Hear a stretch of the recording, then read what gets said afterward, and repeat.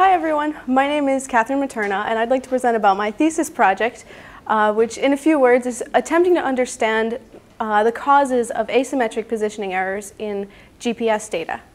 Um, when GPS data is obtained for scientific purposes, we try to uh, try to uh, obtain position estimates as accurately as we can. And one of the steps that goes into this is estimating the delay in signals coming down from satellites due to the Earth's atmosphere.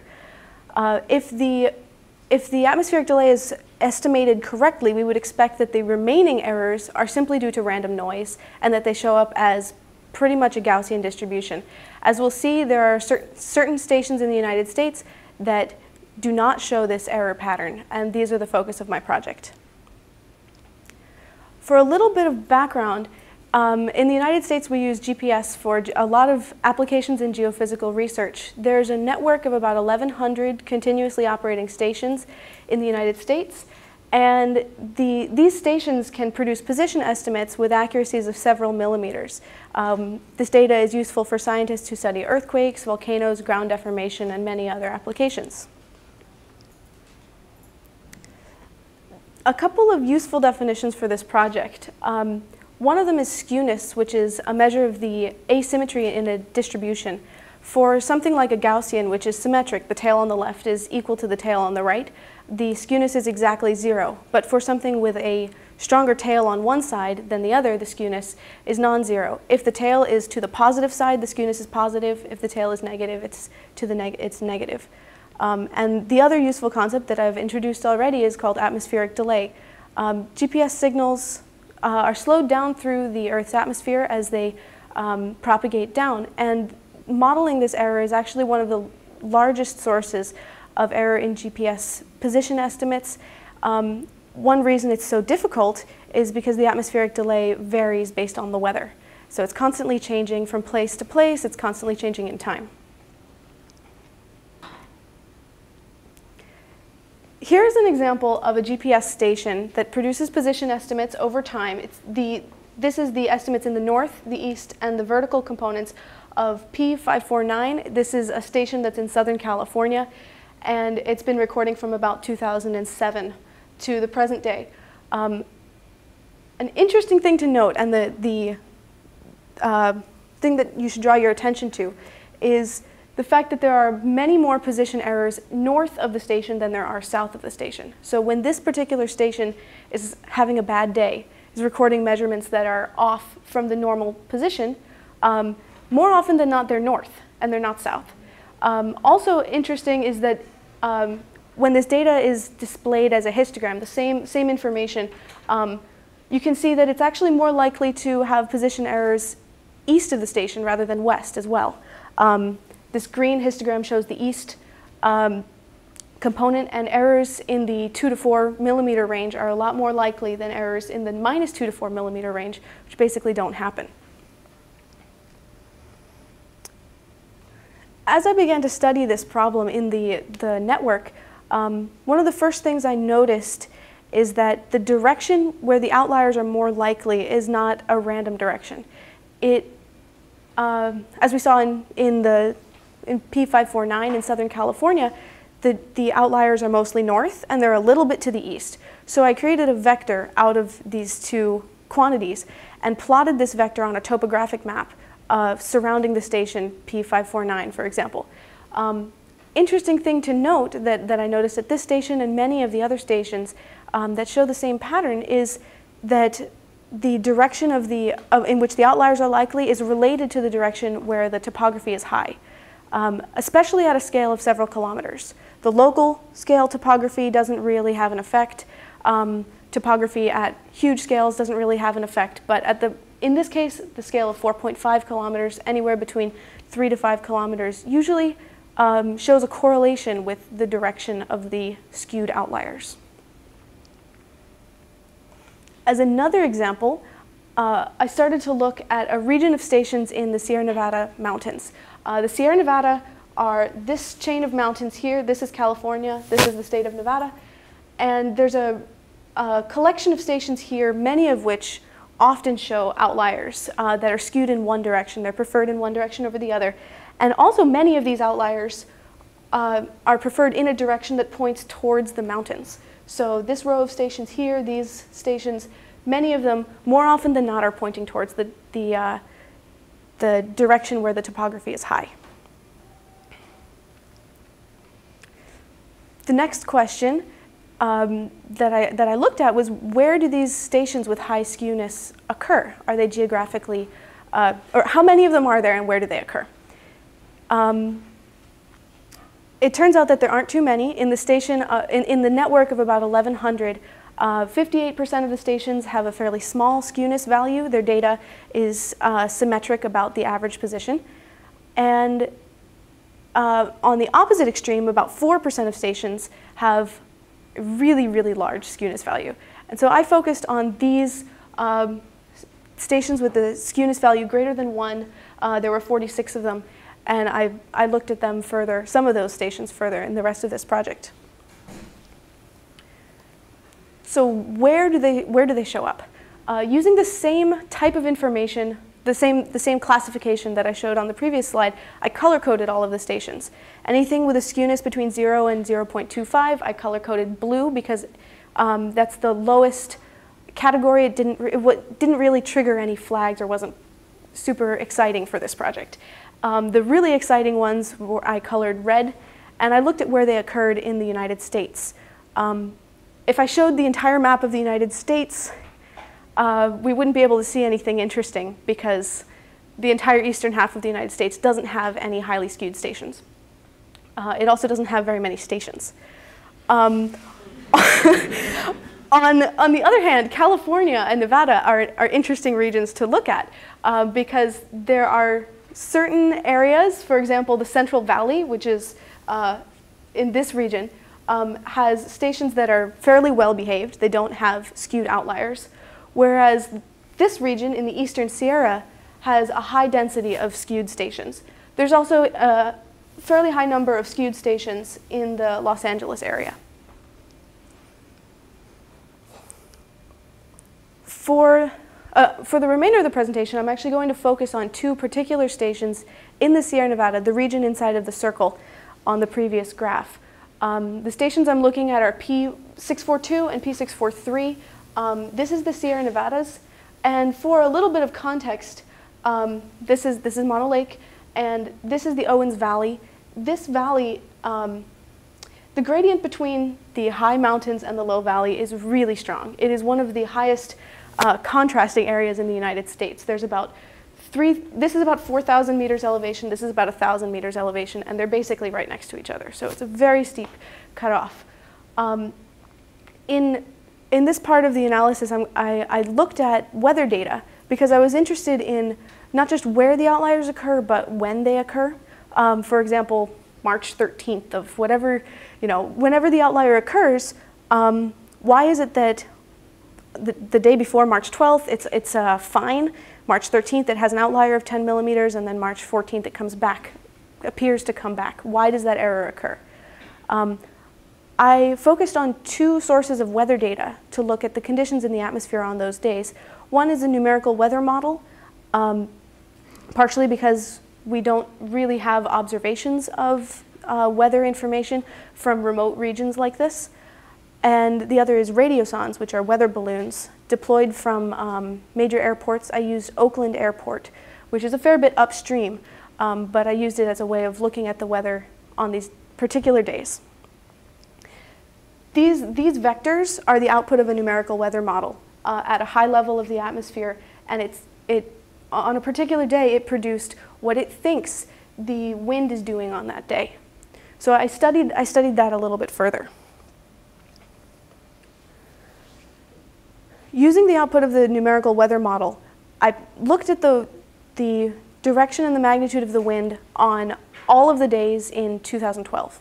Um, for, first, I looked at on all days, um, and, I, and plotted them in this diagram to get an idea of the general distribution of wind speed and direction in this place. This plot is called a windrose. You can think of it as a, a histogram that's been wrapped around a circle. And when the, the uh, bars are high, it means that the probability of wind in this direction, coming this way, is high. So this shows that on normal days over the whole course of 2012, the um, wind almost always has a west to east component, which is consistent with our understanding of the, uh, the large-scale flow of the atmosphere over North America. But within that range, it can, it can take almost any angle. So there's a wide range of angles that the wind can, um, can be blowing in, and also it has a wide range of speeds. The color represents the wind speed on those days. And there, there are a fair number of uh, 0 to 20 meter per second wind days. This is in contrast to a subset of days that I selected based on the behavior of station P642, um, which I, I, picked the top 12, 15 days of the year when it showed really large outliers. And the distribution of wind on those days looks like this, which is a much narrower range and it's also interesting to note that the wind speed is relatively high. There are zero days here between um, zero and 20 meters per second. So that, that was an interesting observation that I kind of kept in, in uh, my mind as I was going through this project. I also used the radiosonde data to look at a similar type of question, um, but radiosondes are really awesome for giving the whole vertical profile of the atmosphere on particular days. Um, this slightly chaotic diagram shows the wind speed on the x-axis as a function of height for every radio balloon, for every radiosonde deployed in 2012. Uh, and it's color-coded um, into two categories, the days that have normal measurements at P642 and the days that have outliers at P642. Uh, for a little more clarity, I used these, these populations to find the uh, mean of these uh, two categories. And it, it shows something that's consistent with the, uh, the weather model output, that basically on outlier days, there's much higher wind speed than on a typical day. So at this point, I knew that the outliers often point uphill, that there's a narrow range of wind direction on outlier days, and that the wind is fairly strong. So we started to think about how coupling between the atmosphere and the local topography might be causing this issue. Uh, in particular, because we know that a lot of the stations in the Sierra Nevada are of interest for this project. Um, we started to think about Lee waves, which are an interaction between a mountain and, a, uh, and the atmosphere. What are Lee waves? Um, Lee waves are simply oscillations that are excited by topography when the atmosphere is stable. Um, Lee waves can form parallel rows of clouds, as shown in this image. This is an island, and the flow of the atmosphere is directed this way, uh, and it created a pretty spectacular pattern that NASA captured in a satellite image. And the interesting, another interesting thing about Lee waves is that they've been studied for the better part of the last century, and they're described by um, some well-developed theory. Uh, they've been studied partially because they um, are interesting for airplane pilots to be aware of, their turbulence downstream of mountains, and um, partially because they create really interesting meteorological phenomena and interesting clouds. In general, there are two types of Lee waves. Um, and, and, the difference between these, these two types, the behavior is governed by the uh, conditions in the atmosphere on the days that the Lee waves form. There are trapped Lee waves, um, and vertically propagating Lee waves. The difference between the two is the extent that they rise in the atmosphere and the direction that their momentum is propagated. In the case of a trapped Lee wave, there's a stable, the, the atmosphere is stable, which means it can support oscillations up to a certain point, above which it's unstable and the oscillations cannot propagate above that point. Um, so in the stratosphere, you generally don't see these kinds of waves. The second type, vertically propagating Lee waves, can move all the way up into, into the stratosphere. They've been observed at 20 kilometers above the Sierra Nevada, um, and they can actually propagate upwind of the um, upwind of the mountain that forms them, unlike, unlike the downwind side of Lee waves. One thing that governs the behavior of Lee waves is the type of stability that exists in the atmosphere. Um, in understanding stability, there's two really important concepts. One is called potential temperature, uh, and it's, it's a concept that we can use to describe, um, it's the temperature that a parcel of air would have if we brought it down to a reference temperature, a reference pressure, usually the surface of the Earth, um, adiabatically. And we can use it to compare air at different um, heights in the atmosphere taking into account the fact that air expands and cools as it rises. Um, using the concept of potential temperature, um, we can explain the behavior of Lee waves in terms of a Brunt-Väisälä frequency, as it's called, and it's the frequency at which a displaced parcel will oscillate. It's based on the gradient of potential temperature with height, and it's almost like a spring constant. So we can imagine that in, in an atmosphere that has a high Brunt-Väisälä frequency, it's like a stiff spring. Any uh, perturbation when the air is moved up over the mountain will oscillate quickly on the downwind side. Um, and if the Brunt-Väisälä frequency is low, uh, the atmosphere is less stable to oscillations and, the, and it's like having a weak spring set up on the system. I said that radiosondes are really awesome. One reason that they're really awesome is because they, they give you the pressure, the temperature, everything that you need to compute the Brunt-Väisälä frequency as a function of height. So I did that with the year with the data from the year 2012 in two separate categories, the normal days at P642, the GPS station that, that we know has some problems, and the outlier days at P642. And I found that on the normal days, there's a particular um, profile of the Brunt-Väisälä frequency. But what's really interesting is that the profile of the Brunt-Väisälä frequency is different on the outlier days. It, in particular, there is a higher Brunt-Väisälä frequency at 3 to 5 kilometers elevation on days when there are outliers. And, and you can interpret that as a higher stability. And there's a lower stability at 8 to 10 kilometers elevation on the days when outliers occur. So this is interesting because it, uh, I think that it tells me when the if there are Lee waves on these days, then they're trapped Lee waves rather than vertically propagating Lee waves because this is the area in which um, the oscillations are supported and this is the capping layer above which the Lee waves cannot propagate. It's got lower stability. So the, the next question that I set out to answer is, uh, can Lee waves, I'm sort of, was sort of chasing down Lee waves, observing them, seeing if they um, seeing if they might be the cause of this data problem. Can they be observed on specific days? Um, and the answer is sometimes they can. So here's the best picture of Lee waves that I found in my survey of, I studied the whole year, uh, 2012, looking for Lee waves. And these are the Sierra Nevadas, this white ridge. This is on March 13th of 2012. And downwind of the Sierra Nevadas, there's maybe 10 oscillations of Lee waves that you can see from a satellite image. Um, interesting thing to note is that on this day, station P642 recorded a fairly large outlier of about 11 millimeters. So I extended this. I went looking through the whole year, trying to see if the correlation could be uh, extended. And it turns out that in the whole year, I found about 60 days that had Lee waves. Um, so about a one in six chance of seeing them on a normal day but I picked the top 18 days of the year in terms of outliers at P642, a top 18 days of the year for 643, and found that in about two thirds of those cases I could see Lee waves in the images. So it's, it's not perfect, but there's, there's a much higher probability that Lee waves will be observed on those days. Can I just ask, this just from satellite imagery? Yeah, yeah, it was MODIS.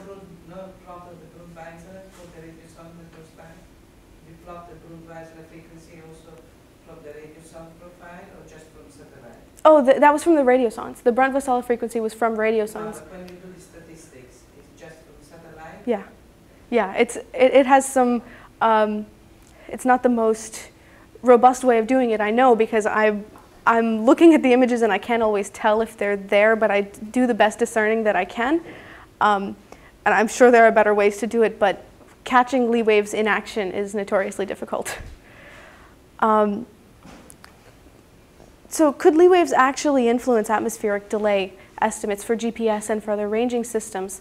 Um, there's a couple of mechanisms that have been studied before. I found two papers um, that looked at Lee waves in this context. One of them was investigating the fact that Lee waves um, are associated with vertical velocities in the atmosphere. Normally we don't have very strong vertical velocities, but during Lee wave conditions we do. And for uh, Certain ranging systems, like satellite ranging systems, this might make a difference, but probably not for GPS. Another uh, mechanism that could be influencing GPS um, estimates is that there is water vapor that keeps changing from uh, vapor phase to condensing into a cloud and back during Lee waves, which could make a difference on the index of refraction, changing our um, estimates of atmospheric delay in a way that we're not currently uh, looking for or currently solving for. Um, and there might be other ways too. We actually don't know. So I'd like to conclude by uh, saying that the cause of the asymmetric outliers, especially in the Sierra Nevada, might be related to Lee waves based on the observations that I've found in the data. Particularly, Lee waves are much more likely on outlier days than they are on a random day, um, and that the conditions for forming Lee waves are almost always present when outliers occur. Um, I think that the Lee waves that are causing this um, are probably trapped Lee waves rather than vertically propagating, so they're probably not in the stratosphere. Um, and, and, there's still a lot of open questions. For example, on the day that I showed um, the really nice image of Lee waves, uh, P642 had an outlier of 11 millimeters, but its neighboring station, P643, had an outlier of 1 millimeter, which isn't an outlier at all. It's a completely normal data. So um, there's still a lot of open questions like why are there days when outliers occur and we don't see Lee waves, and why are there days when Lee waves occur and we don't see outliers? Uh, so this is a more complicated question, but maybe in the future we can um, use this work and, and other work to um, account for Lee waves and uh, in atmospheric delay estimates and eventually improve GPS position accuracy. Thank you very much.